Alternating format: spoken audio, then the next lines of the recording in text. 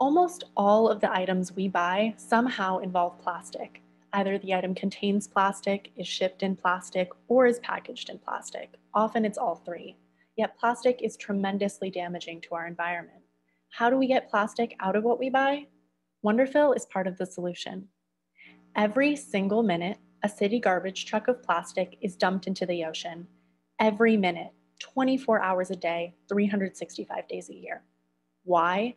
Because we are producing more plastic than any waste management system on the planet could possibly handle. Contrary to what we have been led to believe, over 90% of the plastic we dutifully put in our recycling bins does not get recycled. The history and the mythology of the plastic industry is a mess, but it provides some critical context for how we got here. For that reason, I'd like to take a few minutes to give you a crash course in plastic. The first plastic, called cellulose, was invented in the mid 19th century as an alternative to ivory to make billiard balls. Many took notice because it was the first synthetic material ever used to make a commercial good. Cellulose went on to inspire the development of many other plastics, including bakelite, vinyl, and nylon. During the post war boom, American manufacturers sought to mass produce goods at a cheaper price. So they shaped and dyed these types of plastic to mimic more expensive materials like wood, ceramics, tortoiseshell, linen, metal, and glass.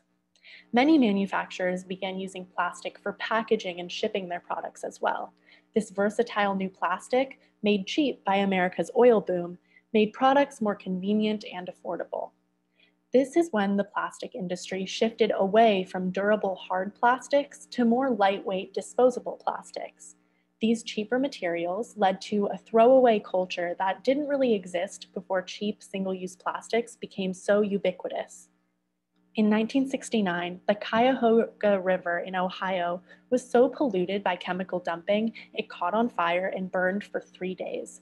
This embarrassed the United States worldwide and spurred the creation of the Environmental Protection Agency.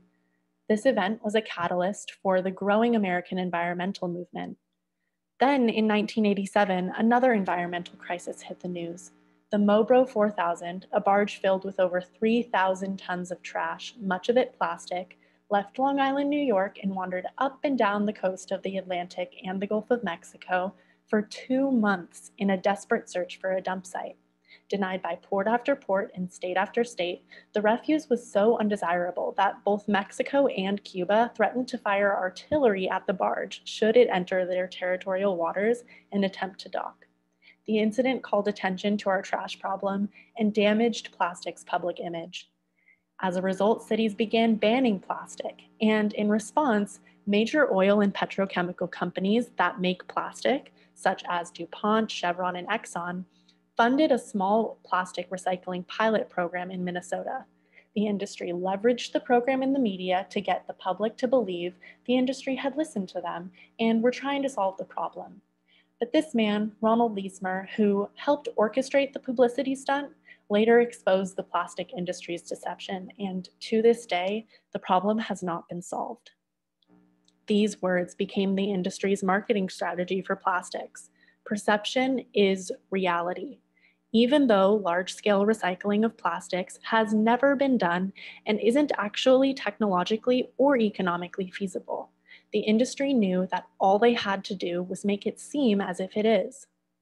This marks the beginning of the most successful greenwashing campaign in history, the chasing arrow symbol on the bottom of plastic packaging the plastic industry quietly lobbied states to pass laws requiring that this recycling symbol be put on plastics sold in that state.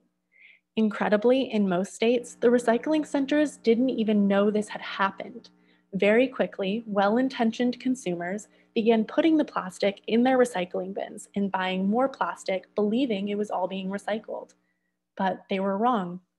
From the 1980s until 2018, much of this plastic was being shipped to China.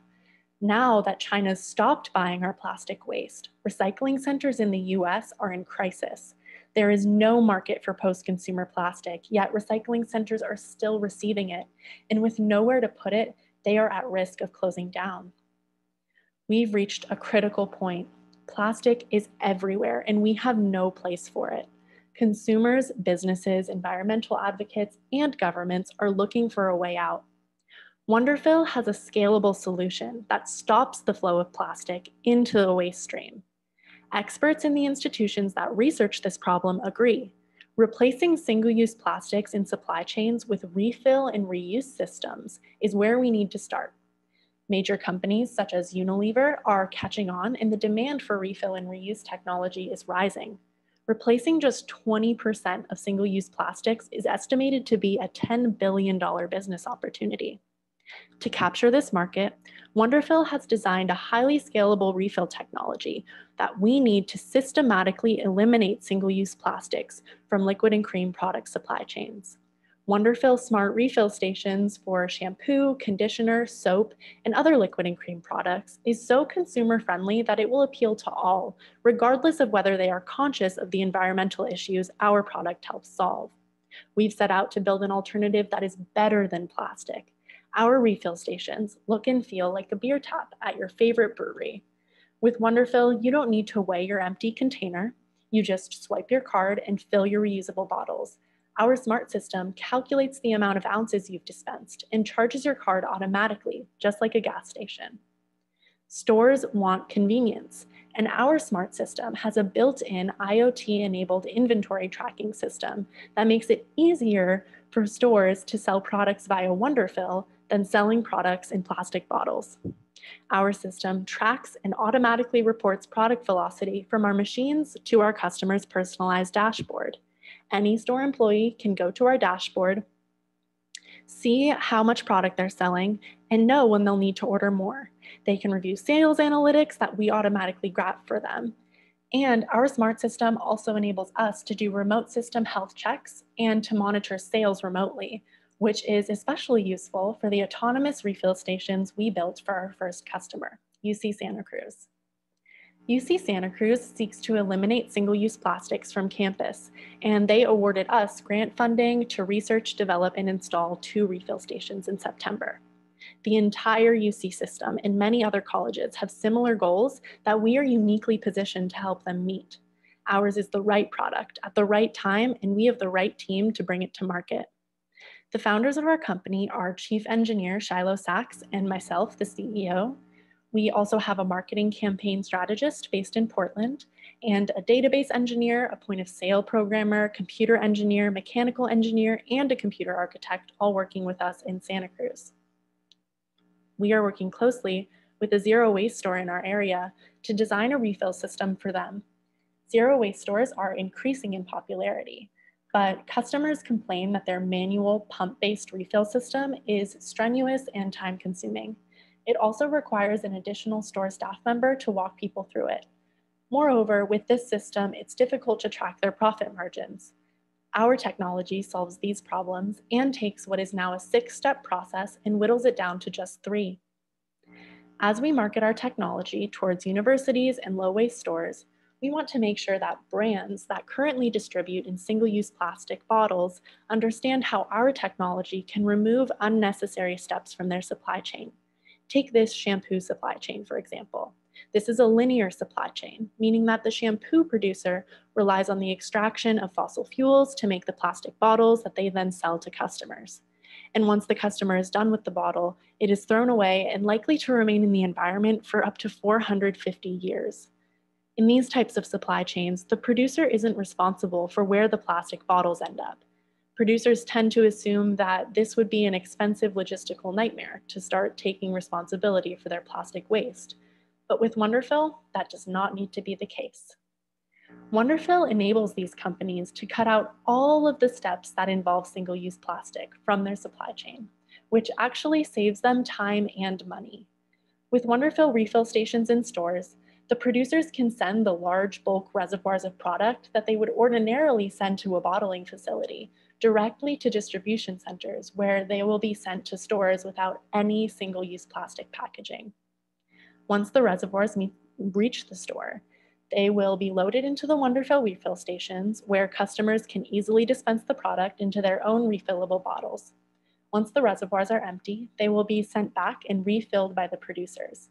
We are currently working with brands that have already figured out the circular supply chain logistics They're helping us measure the cost savings, increased supply chain efficiency, and plastic and greenhouse gas reductions achieved by this distribution model.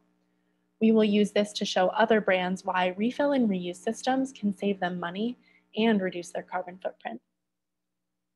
I'm excited to announce that Wonderfill will be featured in a circular economy exhibit in Portland on Alberta Street at the end of August, thanks to We All Rise Consulting. So if you would like to try Wonderfill in person, follow our Instagram, LinkedIn, or Twitter for details. We are a young team with the vision, skills, and dedication to move this forward. If you represent a grocery store, university, or other place that wants to start phasing out single-use plastics, you can set up a meeting with us on our website to pre-order a Wonderfill. It's no obligation. We would just get the conversation started. As we continue to grow our business, we know we would benefit from adding industry experience to our team. If you are interested in dispensing and point of sale software, how to scale operations for manufacturing hardware, or have experience in this industry, please email us at hello at wonderfill.world. Thank you.